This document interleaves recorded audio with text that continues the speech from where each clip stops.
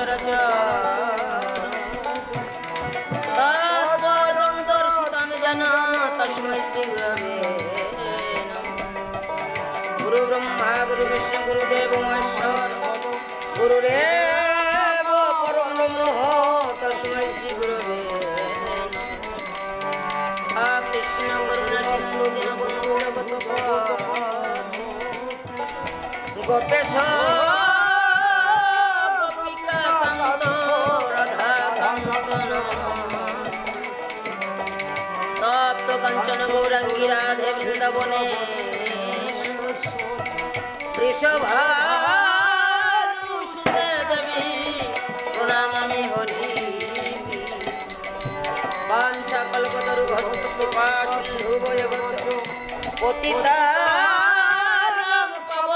ভো বৈষ্ণবে ভো নমো।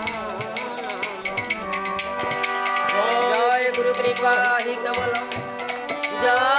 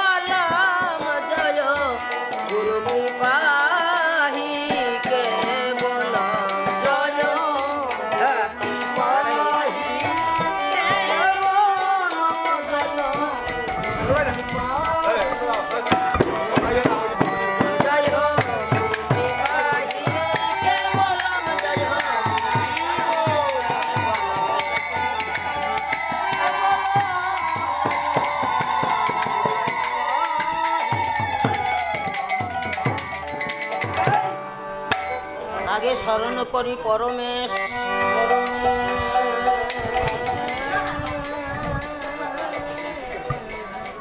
যার গুণ বর্ণিয়া সে যে বেদে করতে না রে।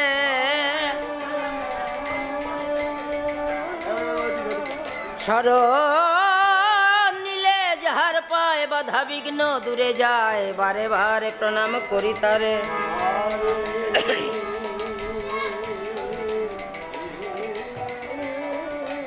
যে নাম নিলে জীবন ধন্য, যার গুণ কীর্তনের জন্য। সাজানো এই ফুলের বৃন্দাব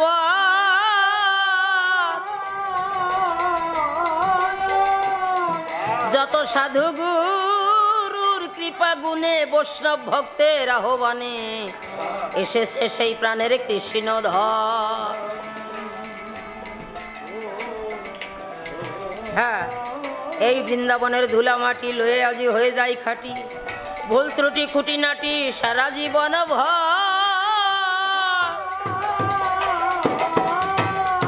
করিলে এই সাধু সঙ্গ পবিত্র হইবে অঙ্গ।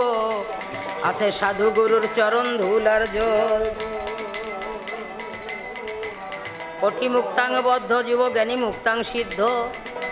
সিদ্ধ মুক্তাং জ্ঞানান্ন পরাধ বৈষ্ণব নমন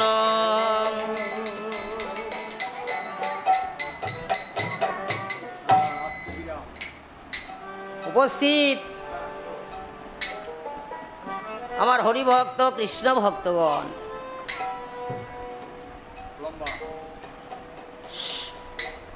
এই যে নববৃন্দাবন, আমরা বলি বৃন্দাবন দাপর যুগে কৃষ্ণ লীলা করেছিলেন।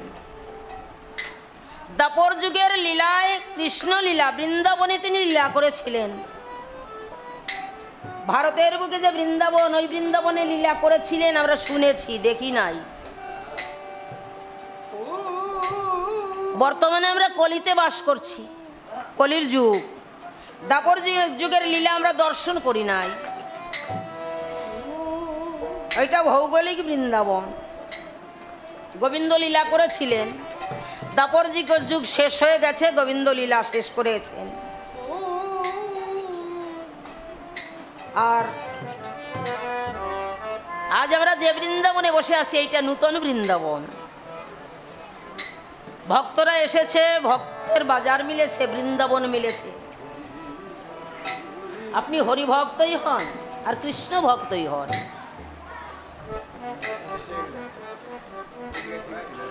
হরি ভক্তই হন আর কৃষ্ণ ভক্তই হন।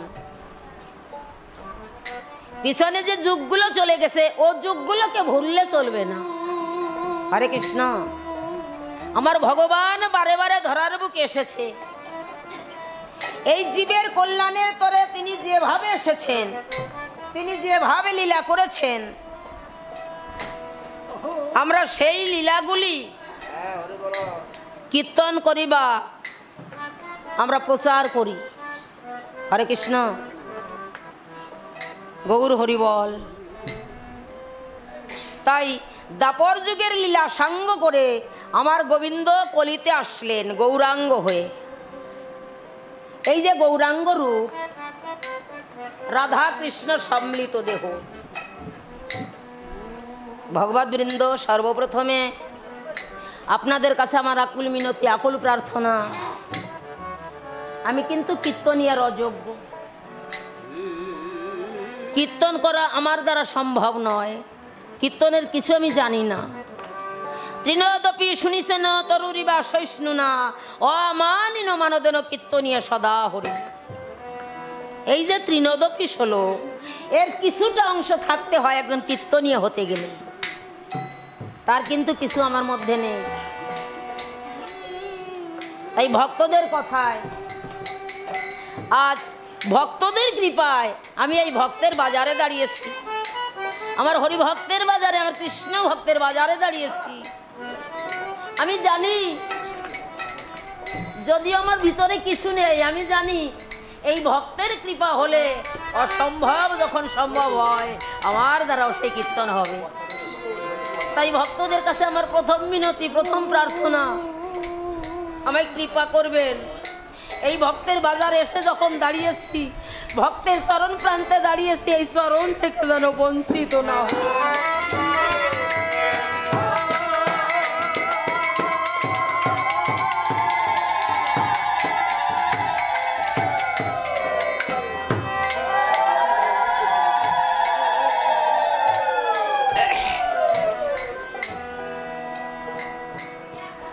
তাই আসুন। আমরা যত সময় এখানে থাকব, তত সময় আমরা হরি কথা কৃষ্ণ কথায় মেতে থাকব। যে যারে ভজে সেই তার ঈশ্বর। যার যার ইষ্ট দেবতাকে সেই স্মরণ করবেন। যে যার ভজন করেন, সেই তাকে স্মরণ করবেন। গৌরাঙ্গ লীলায় মুরারি গুপ্তকে আমার গৌর হরি বলেছিলেন, মুরারি, তুমি কৃষ্ণ ভজন করো, তোমার কৃষ্ণ প্রেম হবে। হরে কৃষ্ণ। তুমি কৃষ্ণ ভজন করো, তোমার কৃষ্ণ প্রেম হবে। মুরারি গুপ্ত বলেছিলেন, প্রভু, আমাকে তিন দিন সময় দাও প্রভু। তিন দিন সময় দাও, আমি কৃষ্ণ ভজন করব। মুরারি তিন দিন সময় নিয়ে উপাসনা করতে বসলেন। যখন উপাসনা করতে বসলেন, উপাসনা শেষ করে তিন দিনে মহাপ্রভুর সম্মুখে গিয়ে যখন দাঁড়ালেন, হরে কৃষ্ণ। মহাপ্রভু ডেকে বললে, মুরারি, কৃষ্ণ ভজন করেছ? ঝর ঝর করে দুটি নয়নের জল ছেড়ে দিয়ে করজোড়ে মুরারি ডেকে ডেকে বলছে, প্রভু, আমায় ক্ষমা করে দাও। আমি যখন উপাসনায় বসি, আমার ধ্যানের ঠাকুর দয়াল রাম এসে আমার সম্মুখে দাঁড়ায়। আমার ধ্যানের ঘরে দয়াল রাম এসে আমার সম্মুখে দাঁড়ায়। আমার কৃষ্ণ ভজন হলো না প্রভু। আমার কৃষ্ণ ভজন করা হলো না। তুমি আমায় ক্ষমা করে দাও। মুরারি, যখন মহাপ্রভুকে এই কথা বলেছিলেন, মহাপ্রভু মুরারির মস্তকে হস্ত দিয়ে বলেছিল, মুরারি, তোমার ভজনই ঠিক মুরারি। অমরারি, তোমার ভজন ঠিক, তোমার কৃষ্ণ প্রেম হবে। তবে আমরা হরি ভক্তই হই আর কৃষ্ণ ভক্তই হই, ভজনে ঠিক থাকলে তার প্রেম হবে। যে দেহে প্রেম নেই, সে দেহের কোনো প্রয়োজন নেই। অশ্বিনী গোসাই গাইলেন, প্রেম শূন্য, জীর্ণ দেহের কৃপা প্রয়োজন। তাই প্রেম ছাড়া দেহ, প্রেম হলো তরি, নাম হলো তরি, প্রেম হলো বৈঠা। আমার গৌর হরি নামের তরি, প্রেমের বৈঠা নিয়ে আসলেন। যেদিন শশীবাতা অদ্বৈত প্রভুর বাড়িতে বসে আমার মহাপ্রভুকে রন্ধন করে খাওয়াতেন, সেদিন আমার গৌর হরি শশীবাতাকে বলেছিল, মা মা তোমাকে আমি কথা দিলাম। শশীবাতা বললেন, নিমাই, তুই তো আমায় ছেড়ে চলে যাবি, তবে কথা দিয়ে যা। আমি যখন ডাকবো তখন আসবি। তখন বলেছিল, মা, শুধু তাই নয়, তুমি রান্না করে আসন পেতে দিয়ে বসে থাকো। রান্না করে আসন পেতে দিয়ে আমাকে ডাক দিলে, আমি দেশের যে প্রান্তে থাকি, আমি পৃথিবীর যে প্রান্তে থাকি, আমি এসে তোমার খাতের খাবার খেয়ে যাব। শশীমাতা সেদিন বলেছিলেন মু, নিমাই, তুই তো আমি যে কয়দিন বেঁচে থাকব সেই কয়দিনের কথা বললি। কিন্তু যখন আমি থাকব না, সেদিনের কথা তো বললি না। আমি যখন থাকব না, সেদিনের কথা তো বললি না। আমি যখন থাকব, সেই দিনের কথা বললি। সেদিন আমার মহাপ্রভু বলেছিলেন মা, তুমি আমার মা। সত্যযুগে কর্দমের স্ত্রী ছিলেন, কর্দমের স্ত্রী দেবাহতী ছিলেন। আমি তোমার গর্ভে জন্মেছিলাম। ত্রেতায় তুমি কৌশল্য ছিলে, আমি তোমার গর্ভে জন্মেছিলাম। দাপরে তুমি দেবকী ছিলে, আমি তোমার গর্ভে জন্মেছিলাম। আর এই কলিতে তুমি শশী মাতা, আমি তোমার গর্ভে জন্মেছি, মা। তোমাকে আড়াইতে শকতি নাহি কো আমার। তোমার গর্ভে জন্ম নেবারও দুইবার। এরপরে আমি দাদাকে নরোত্তম বানাবো, আমি শ্রীনিবাস হব। তারপরে আমি ওই সন্ন্যকনে লীলা করব, মা। আমি এই জগতে যতবার আসব, ততবারই তুমি আমার মা হবে, তুমি আমার মা। হরে কৃষ্ণ।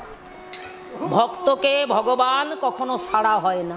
সে যে রূপেই আসুক যে রূপেই আসুক, ভক্তকে কখনো ভগবান ভুলে যায় না। ভক্তকে মনে রাখে। তাই আমার গোবিন্দ দাপর লীলা শেষ করে কলিতে আসলেন। দাপর লীলা শেষ করে মহাপ্রভু আমার কলিতে আসলেন। ও তাই ব্রজে কালা ছিল যেই শশিসুত হলো সেই হরি বল আচ্ছা। বলরাম হইল নি তাই, ও কি আহারে? বলরাম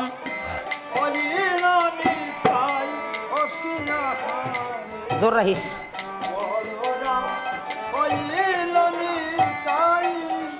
পাপিতা পি যারা ছিল হরি নামে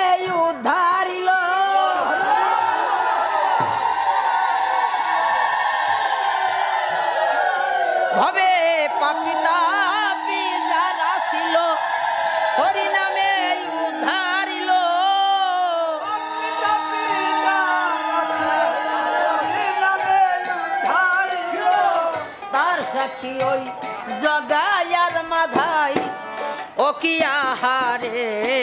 তার সাক্ষী ওই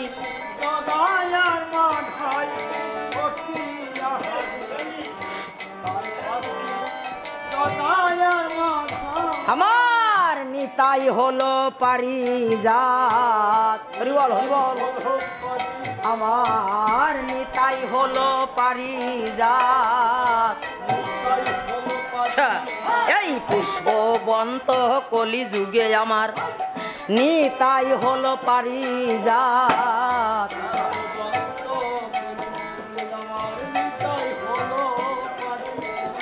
কলিযুগ, পুষ্পবন্ত যুগ। ধন্য কলির যুগ, ধন্য এলেন প্রভু শ্রী চৈতন্য আমাদের এই জরামরা দেশে। আমার গৌরাঙ্গ সুন্দর আসলেন। আমার হরিচাঁদ ঠাকুর আসলেন। কি নিয়ে? কি নিয়ে এসেছিলেন? গৌর হরি আসলেন। হরি নাম নিয়ে। কেন? পাপাচ্ছন্ন কলির জীবের মুক্তির তরে। ও বাবা, আমার ভগবান কখনো নিজের তরে আসেন এই বিশ্ববাজে তার কোনো প্রয়োজন নেই। তার কোনো কিছুর দরকার নেই। দরকার কাদের? দরকার এই ভক্তদের। ভক্তের প্রয়োজনে আমার ভগবান বারে বারে ধরার বুকে আসে। ভক্তের প্রয়োজনে আমার ভগবানকে যদি সাত দিন পরে আসতে হয়, আমার ভগবানকে তাই আসতে হবে। তাই শচী মাতাকে বলেছিল আমা আমি সব বাঁধন ছিন্ন করতে পারি। এই জগতে কোনো ভক্ত যদি আমায় ভক্তি ডোরে বাঁধে, ভক্তের ভক্তির বাঁধন আমি ছিন্ন করতে পারি না ভক্তের ভক্তি ডোরে আমি বাধা পড়ে যাই। তাই আমার গৌরাঙ্গ সুন্দর কলির জীবের জন্য কি নিয়ে আসলেন? গৌর হরি, এই জীবের জন্য কি আনলেন? ওরে নামে তরি, এ হে রে হেনে সে রে।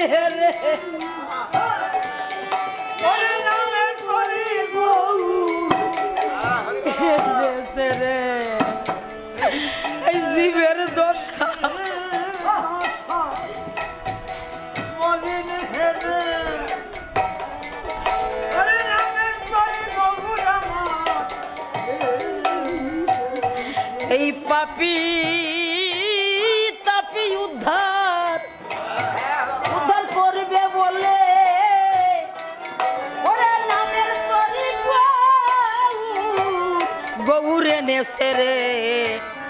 এই পাপি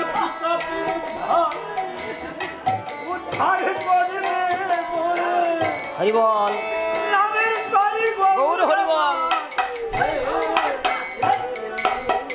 নামের তরি গৌর এনেছে। কেন?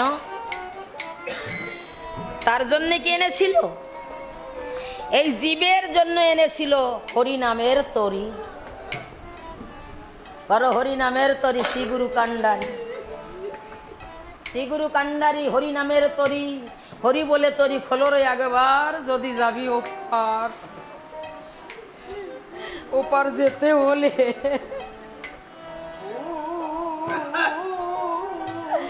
হরি নামের তরি না বলে গুরুকে কান্ডারি না করলে ওই ভগবানের বাড়ি দেওয়া যায় না। তাই ভববাড়িতে পাড়ি দিতে গেলে হরি নামের তরি প্রয়োজন। ক্ষমা বাবাদেরও বলব, জানি সবাই আমার সাইতে বিজ্ঞ। সবাই আমার সাইতে বড়, আমি সবার ছোট। আমি সবার কিছু সবার কিছু তবুও বলব। এই মধুমাখা নামের তরি যতদিন পর্যন্ত না হবে, ততদিন পর্যন্ত বাবা বাড়ি পাড়ি দেওয়া যাবে না।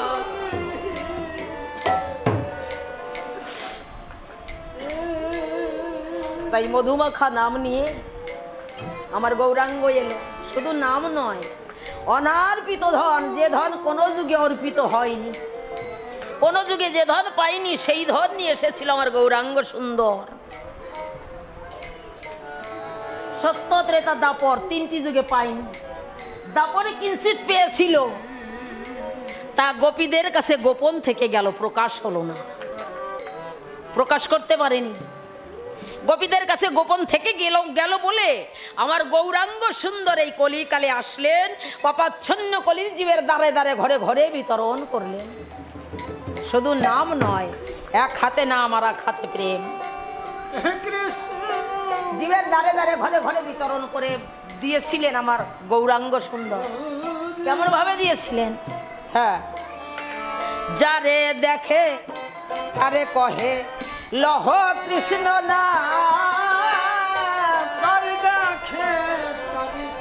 হ্যাঁ জোর যারে দেখে তারে কহে প্রভু লহ কৃষ্ণ না।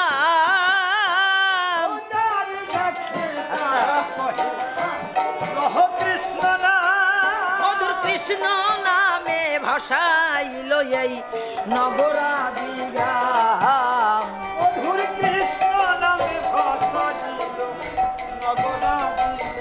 নামে কেহেউ বাকি রইল না।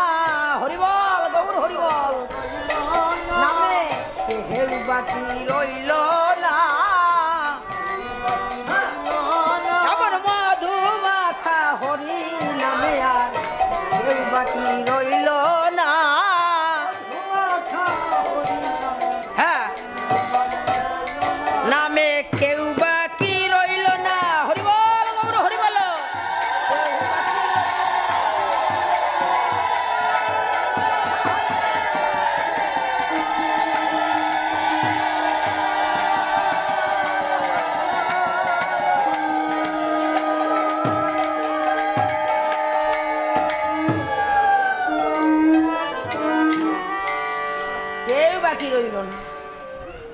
বাকি কি?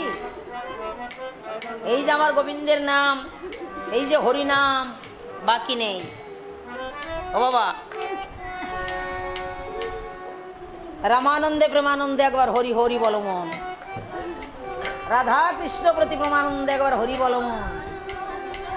যে ধ্বনি দেন না কেন হরি বল মন বলতে হবে তাই হরিনাম কৃষ্ণ নামে কেউ বাকি রইল না, সবাই পেল। আনলো কে? আমার গৌরাঙ্গ সুন্দর। নাম প্রেম দুটি ফল, গৌর হলো কল্পবৃক্ষ।